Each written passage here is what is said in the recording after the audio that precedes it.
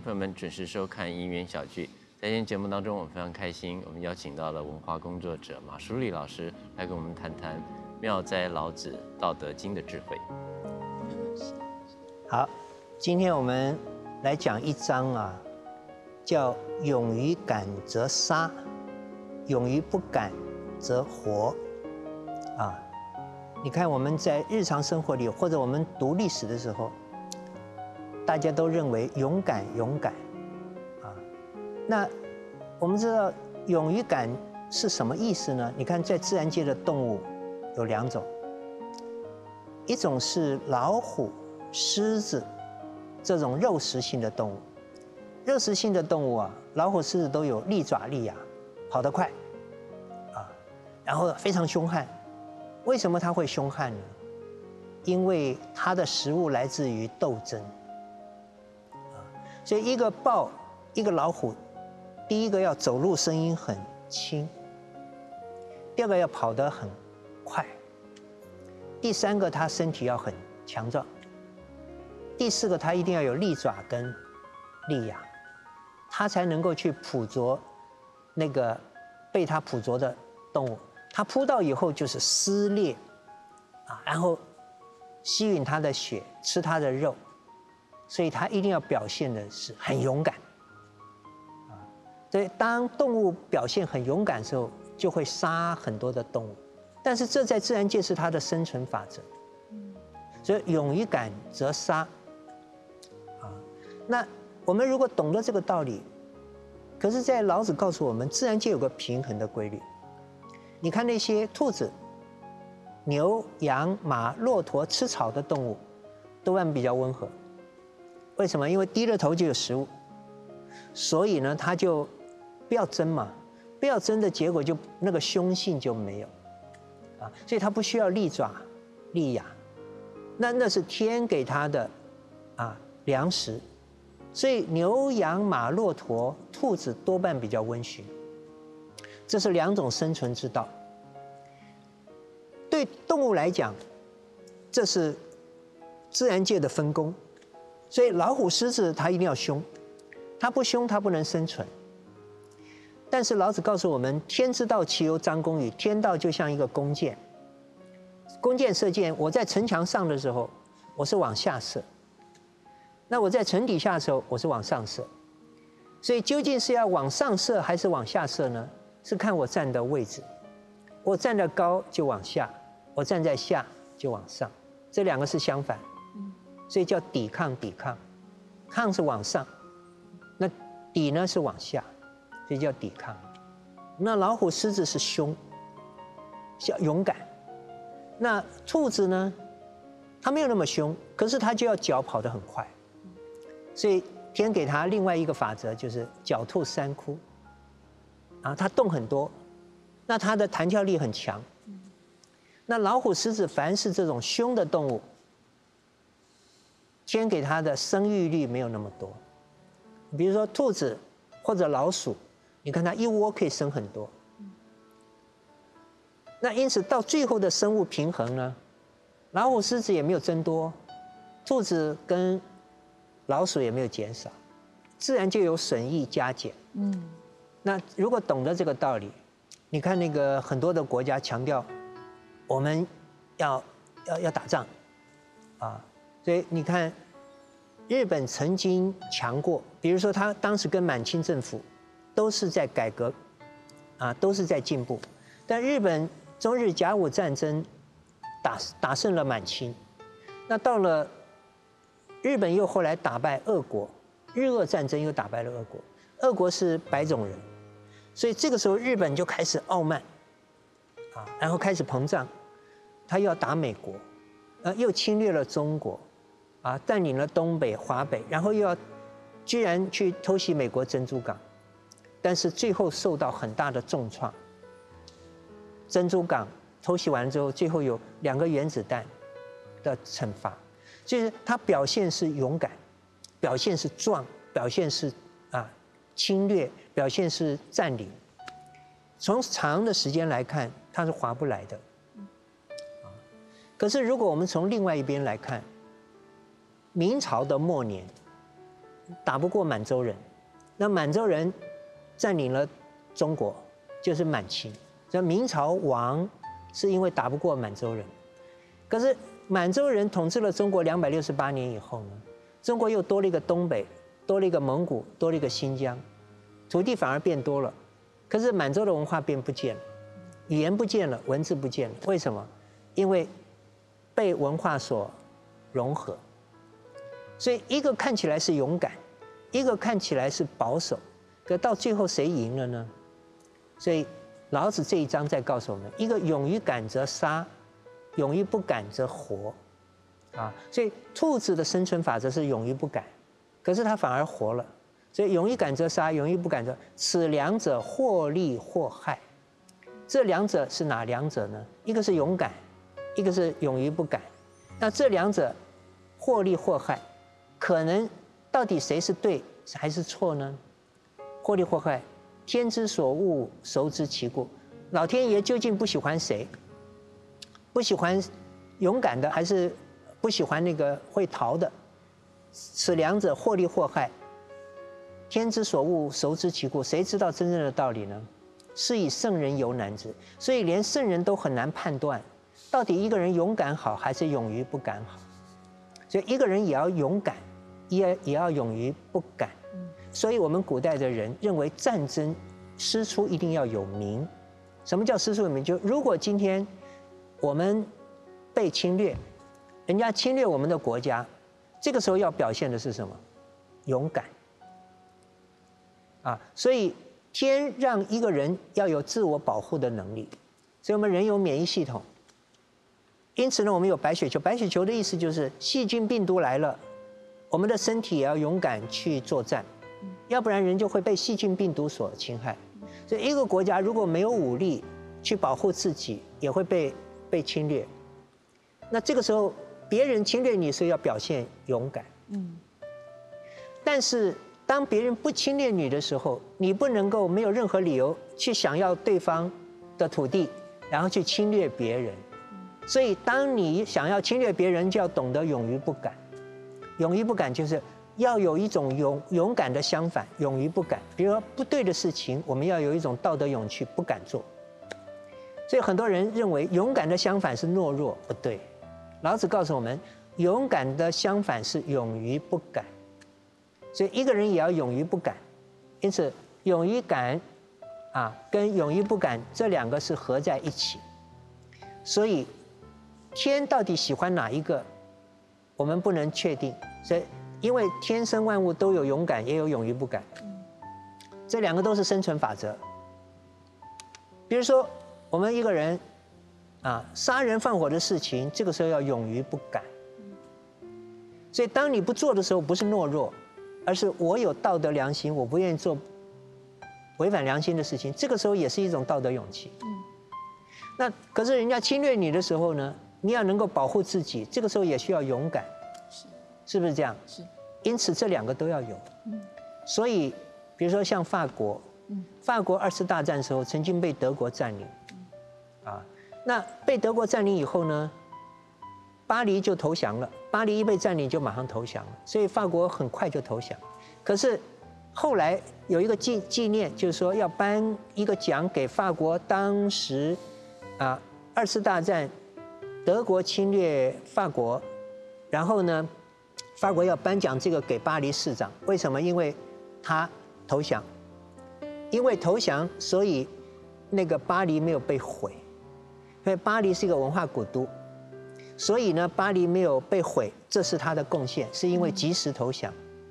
可是，如果他颁这个奖的时候，那那一个法国军队要训练军队的时候，他到底要训练到底勇敢跟投降哪一个队呢？嗯这个时候就发现一个问题。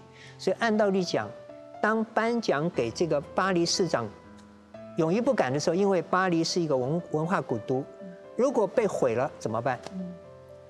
这个的确是一个道德的勇气，是啊，要要守住。可是你也同时应该要颁一个奖给那个诺曼底登陆，勇敢匡复法国的军人，因为那是勇敢，要不然你怎么教育军人？所以军人就要有两个德，一个是勇于不敢，一个是勇敢。是，那这个就是这一章的精神。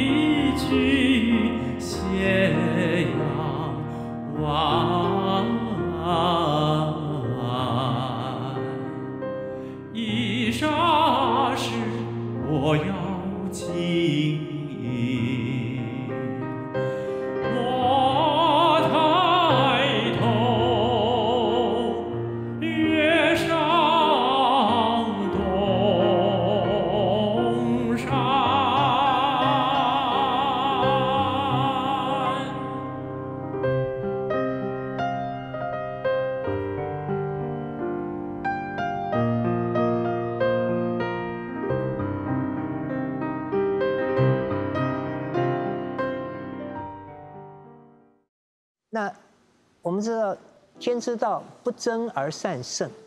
他说天的规律没有竞争，可是到最后都是天永恒啊。比如我们人要跟天比，最多只能打一个平手，叫齐天大圣。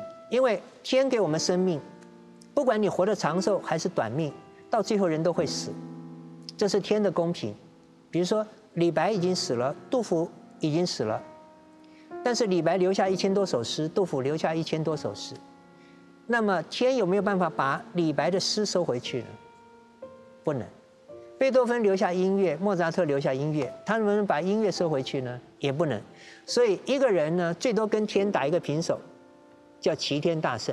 也你的生命天会收回去，可是你留下来的音乐文学可以永恒。嗯，那这个就是齐天的道理。是，所以天之道是不争而善胜，天不给人家争，但是天永远是胜的，嗯所以天能够长久。嗯第二个，不言而善应，天不讲话，可是你看看天，它就会呼应你。比如说，我们一个人看了天以后，天上最大的像是什么？一个太阳，一个月亮，一个那晚上有星星。那天给我们的启发是什么？如果一个人在地上要成立家庭，太阳等于爸爸，月亮等于妈妈，星辰等于孩子，所以一个太阳，一个月亮，很多的星星，就等于一个家庭，一个爸爸，一个妈妈，很多的孩子。如果是两个太阳呢，或者两个月亮呢，那就乱了。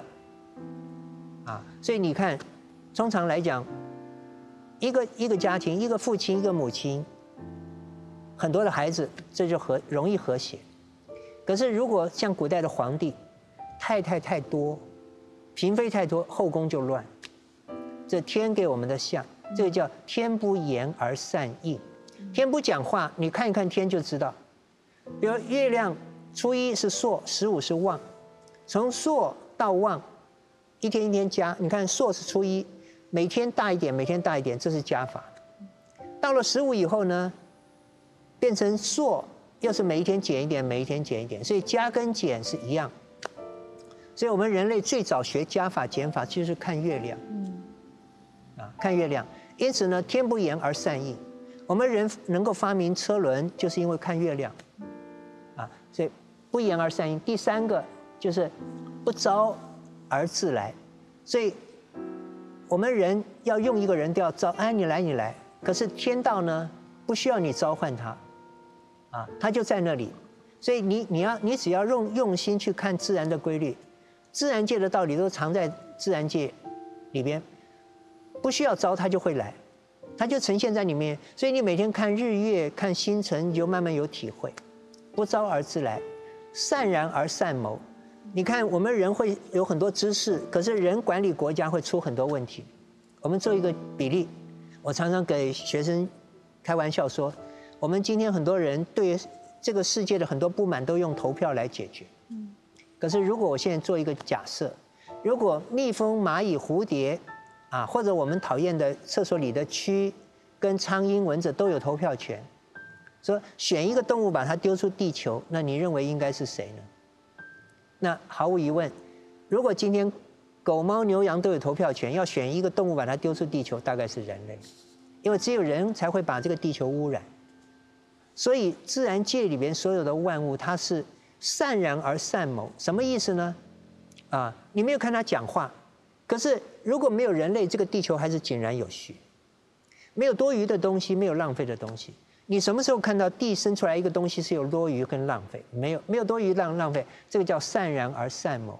最后他做一个结论，叫天网恢恢，疏而不失。很多人不知道什么叫天网，很多人认为法网恢恢，疏而不漏，因为法网是抓犯人，所以叫不漏。天的网不是为了抓犯人。天的网是没有失，没有没有疏失，就叫天网。那天的网很简单，就是六十四个卦。我们很多人啊，不知道中国在周朝的时候，周文王已经用自然界的六十四个规律管理国家。比如说否极泰来，否卦太卦，天地交感跟不交感，啊，北半球太卦时候，南半球否卦，这两个是阴阳相反。啊，比如说损益平衡，损益是易经的卦，由波而复是自然界的规律。周文王是我们中国周周朝八百年，中国最久的朝代就是周朝。周文王管理国家已经用自然界的规律管理国家，可是我们现在用的都是人的知识来管理国家，所以会乱，因为不是自然界的规律。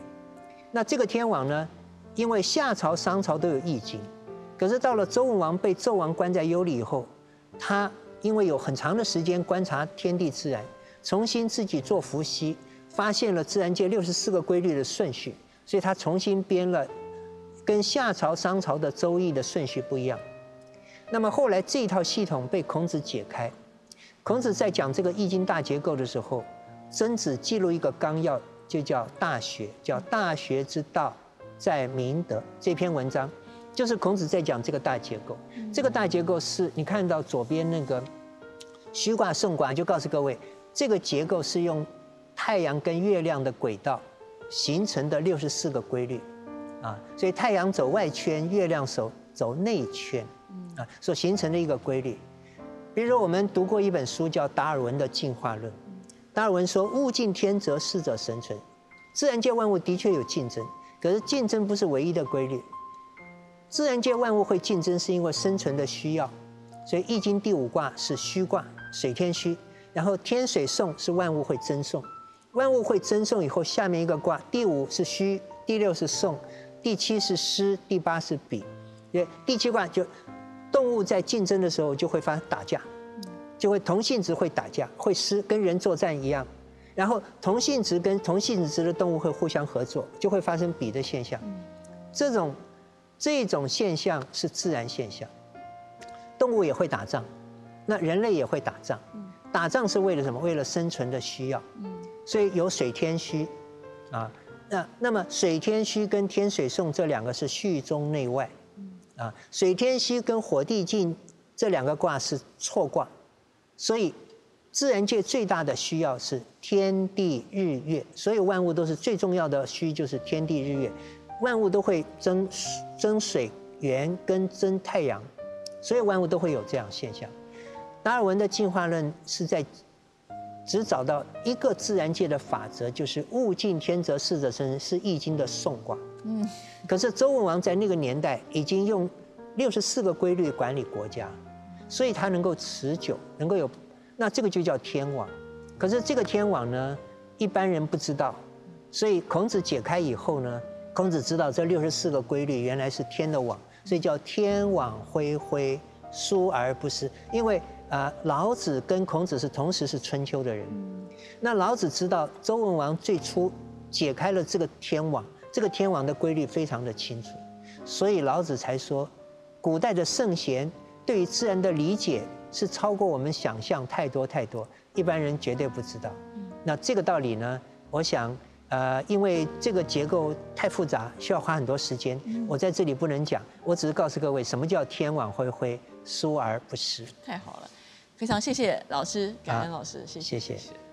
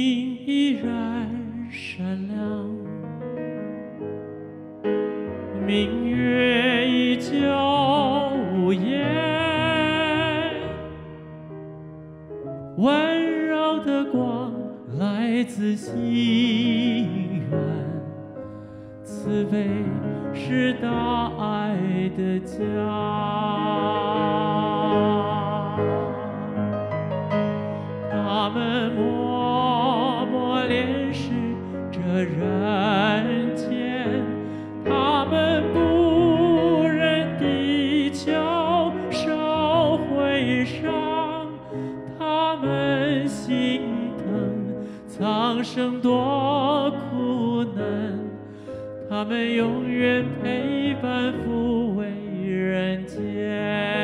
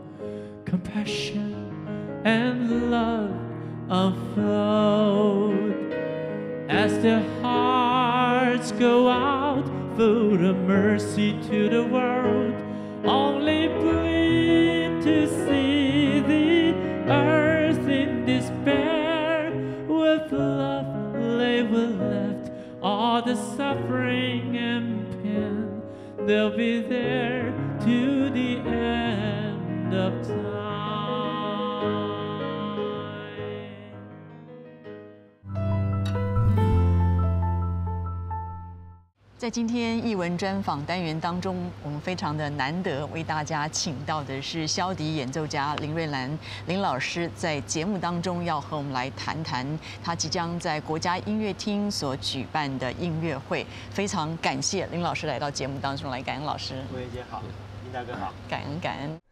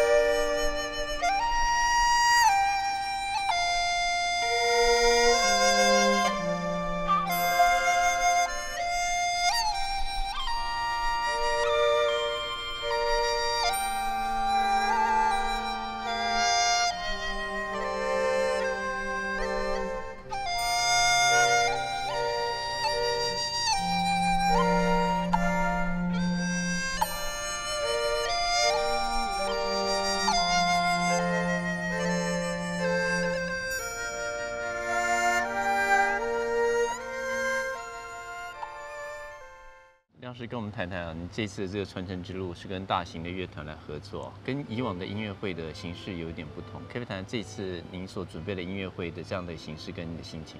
是，呃，因为其实自己小的时候就经常追着音乐会跑，自己喜欢感受呃那种气氛，所以当时所受到的感动，一直很希望可以再重现。那么自己开始学习音乐之后，也很庆幸自己慢慢拥有一点这个可以传播感动的能力，所以呃希望逐渐的把这个感动的范围跟能量再扩大。那么从二零一二年开始，我办了比较小型的音乐会，虽然说是在比较小的场地办，但是呃还是希望可以重现这个乐曲比较完整的风貌，所以用的伴奏人数大概都是十多位。那么呃比较遗憾的就是有一些比较气势磅礴的这个大型的乐曲啊，呃没有机会表现，所以这一次希望透过这个比较呃大型编制的演出，可以重现一些平常比较没有机会表现出来的乐曲。是是是，其实在，不论在中国啊，或者在香港啊，这种国乐交响化，其实已经行之多年了。哦，是不是也可以跟我们来谈谈，像这样子六十个人编制这种交响化的这种国乐形式，对你们来讲也是一种挑战吗？是的，呃，其实国乐交响化对国乐来说，呃，算是更丰富了音乐的这个表现方法。因为以前传统的国乐可能就是大概十多人，就是所谓的丝竹这样子的形式表现，但是呃，可能在某一些气势的方面表现会不足，所以我们在国乐交响化的这个过程也借用了很多的西乐器，融入了很多，包括像定音鼓啊这这一类的乐器，原本国乐团是没有的，那么把它吸收之后，可以表现得更完整。所以呃，我想国乐交响化对国乐来说它是进步的。然后我们呃跟大型的乐团这个合作的话，呃其实呃需要衡量了，可能是声部的平衡的问题，因为毕竟独奏的人就是一位，但是呃乐团要如何来烘托这位独奏者，那么呃下的分量需要多少？然后独奏者要如何跟大家都能建立起一个默契，可能是比较需要努力的功课。是是是在西方的协奏曲是有同样的这个问题吗？哈是的不管你是哪一样乐器的协奏曲，你可能如果这个乐器本身的音量是有限的，可是你还是得要表现各种不同的情感嘛。可不可以谈这个部分？就是你们怎么样呃跟指挥跟乐团之间有一个这样的一个好的默契，然后把这个音乐呈现到最好。是，其实这一次很幸运，就是呃乐团的指挥，呃就是我的学生，啊，是所以因为他呃对于笛曲非常的了解，那么在呃先期的作业的部分，已经在配置的方面下了很大的功夫，做了最仔细的琢磨，所以呃在配合的时候，我们在排练的时候，我觉得非常的轻松，因为呃我要的他都做到了。是是是。不过我觉得笛子应该比较没那么困难，因为笛子本身在音量或者说在这个呃音色上本身是有穿透力的，是吗？呃，很大部分的人都，呃，都会觉得说笛子它是一件嘹亮的乐器。是。那么我们呃希望可以呈现笛子的音色的多重层次，所以在收练的时候呢，乐团一定要配合我们。嗯，是，所以像这样子国乐交响化，其实在曲子的这个长度来讲，也增长了很多哈。是，嗯，呃，因为这个交响化的这个编制上面来说，我们喜欢做球，就是演奏者做球给乐队，乐队再做球给演奏者。那么在这个一来一往之间，其实演奏者也获得了适度的休息，啊，并不像传统的曲子啊，从头演奏到尾，那个体力负荷比较重。哦，所以哦是这个样子啊哈。我以为就是在独奏的时候会比较轻松，然后跟整个交响乐团合作的时候会比较辛苦，它的这个辛苦程度不一样，应该哎，是。是的，呃，我们跟大乐团合作的时候，其实自己的音量有刻意需要提高一些。哦独奏的时候，可能就是笛子一上嘴，呃，就下不来。所以之前几次的经验，在那个小厅演出啊，那个汗就这样子流到这边来，然后笛子不能动，一直觉得它快要滑掉。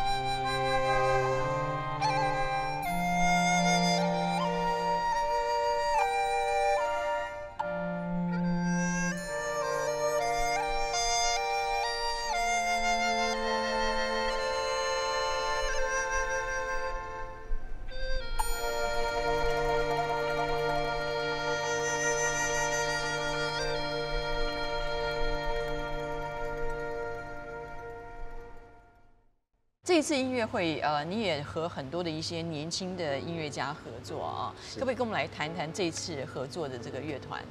好，呃，我们这次合作的乐团是詹英台北詹英国乐团。台北詹英国乐团的组成分子都是年轻人，他们从国小、国中，呃，让指挥一路带上来，所以默契呃非常的好。然后他们非常的有活力，我跟他们一起演出的时候，觉得自己都年轻起来。那么有活力的乐团，它最大的好处就是速度上面，呃，可以跟我有一点竞争。所以呃，就呃，气氛的营造应该是我们跟观众之间最直接的互动。呃，我们的每一个呼吸，观众会跟着我们一起呼吸。然后我们的音量控制下来的时候，观众会更仔细的听，那么慢慢的就跟我们融合在一起。是是是。我们怎么去看这场音乐会呢？你可以谈谈说，怎么样带领这些年轻的朋友，也可以感受到你对这些乐曲啊，可能他们需要一点超龄的这种配合，这样子去感受到你对音乐的这种诠释。是，呃，随着自己的年龄和历练的成长，呃，发现自己会比较着重在细部，呃，一个乐句之中可能转折的部分会比以前更丰富一些。那么这个部分其实呃对于年轻人来说，我们可能要特别再多花一些精神，去让他们呃了解，就是除了音符结构上面以外的另外一种感情。那这种感情其实跟生活有很密切的关系。那么呃，可能年轻人他没有办法有这样的体会，所以我就尝试着把自己的经验告诉他们，为什么我会有这样子的想法。是。呃，我自己在跟老师学习的时候，其实感触最多的是聊天，啊，在聊天当中去去吸收呃老师的经验，或者是自己完全没有机会去碰触到的那个年代那个氛围。嗯，所以现在嗯，我也尝试着跟学生呃传授这个属于经验的这个部分。现在的孩子真的非常的聪明，我自己在大学任教。我发现，呃，现在的孩子，只要我们有办法去说服他，他就可以做得很好。所以这些孩子其实他们在练我的这个伴奏的部分，呃，不一点都不为难。是是是。我想你跟了这么多不同的大师学习以后，最后要整合到你自己个人的音乐跟呃个人的感情风格呈现出来，其实中间有一段很长的时间。你可以谈谈说，你怎么样把？呃，你从大师这边学到的这些呃音乐，不管是风格或是技巧，最后变成你自己的这个部分，花了多少时间？你怎么样去整合它？是，嗯，跟老师学习，并不是立竿见影可以看得到一个成果的，所以呃，当时在两地这样子往返的情况之下，自己心里也非常的彷徨。但是能够坚持下来的主要的原因，还是因为自己喜欢啊，就喜欢的事情是阻止不了的，会会突破任何的困难。那么呃，老师所传授的嗯关于大陆的这种地方风格的部分呢，嗯，我自己是很戒慎的这个去把它做一个原汁原味的保存。那么自己的生活历练，呃，再加上对台湾。这个土地的感情呢，运用在比较呃现代、属于可以有发挥空间的乐曲上，所以呃对于传统乐曲，我自己是一定会谨遵老师的这个教导，因为我想不管学任何的音乐，呃根是非常重要的，有这个根，我们才有办法呃把音乐呃有一个根据，然后再设法去扩展，所以。呃，现在如果说我们用技巧，就是比较快速的表象上面的这个部分去做追求的话，很可能很快就觉得嗯没有意思了，因为挑战总是会有一个极限。但是音乐内涵还有呃属于新的感动的部分是呃可以无限大的。嗯，是是。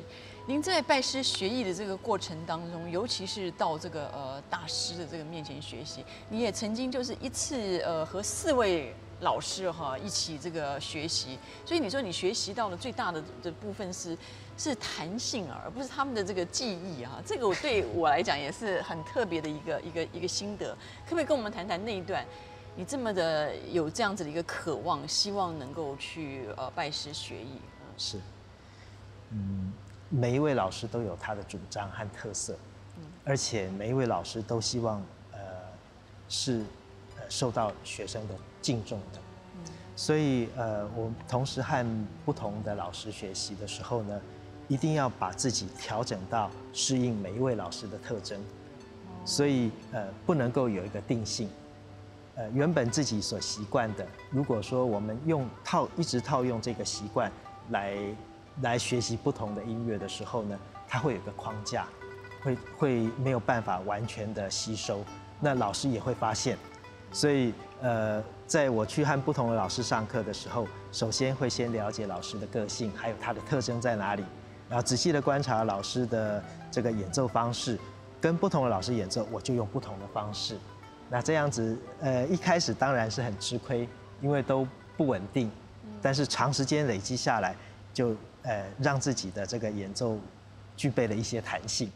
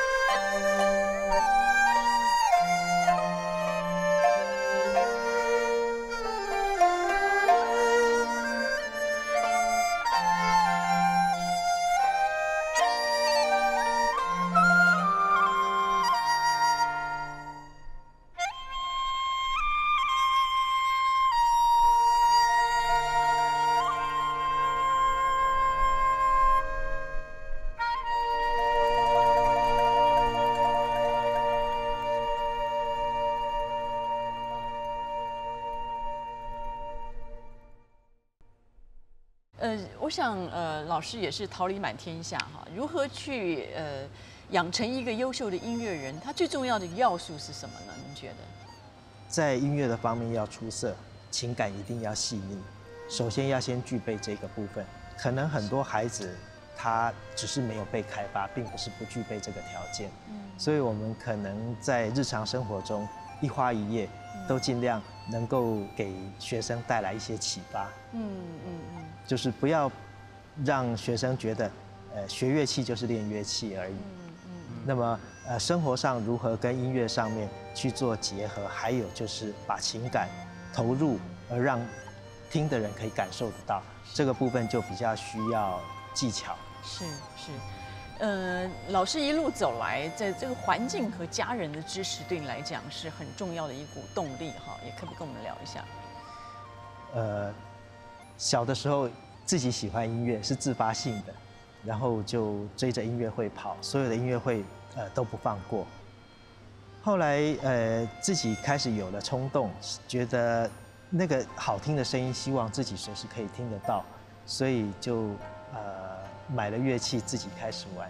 一开始的时候，呃父母觉得有了一个精神寄托也不错，可是后来发现我非常的疯狂，他们非常的担心。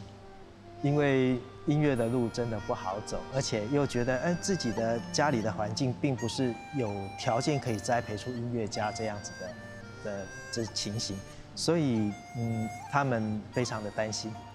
那么，为了不让他们担心，我也就是偷偷的练，就是慢慢的把练习的这个动作呢转移到户外去，不要让他们常常发现我在练习，他们可能会比较安心，然后也赶快在毕业之后找一份工作，有固定的收入，让他们觉得，呃，我有很踏实的在过生活。那么，呃，可以专心的在音乐上面追求，其实真的要感谢我的太太。嗯，她是，呃，无条件、尽全力的在支持我做这样子的传承的工作。嗯，呃，为了能够让我安心的，呃，去做一些做这个投入。嗯，呃，他也不惜变变卖掉自己所有的首饰来支持我。是是。所以有时候我可能。呃，花很多的精神在呃研究乐曲，或是在做一些呃乐器方面的这这个突破的时候呢，呃，可能在收入上就会疏忽了。是。所以很长一段时间其实都是。呃，都是依赖他，是，所以家人的支持非常的重要，是，是是。我们今天要非常感谢老师来到这个节目当中，希望下次有机会有演奏的时候，再带你的团体来到大爱电视台演出。非常感谢老师，谢谢，谢谢，谢谢，谢谢老师，谢谢，谢谢。